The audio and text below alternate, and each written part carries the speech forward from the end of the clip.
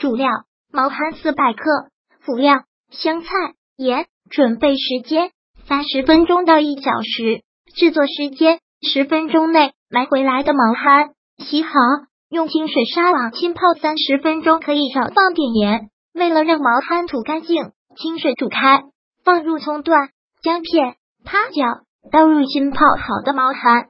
煮的时候可以放小许的盐。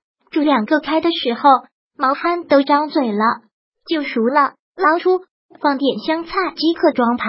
烹饪技巧：用清水纱网浸泡三十分钟，可以少放点盐。为了让毛蚶吐干净，如果喜欢本视频，请分享并订阅本频道，访问 tt news 点 xyz 获取更多相关资讯。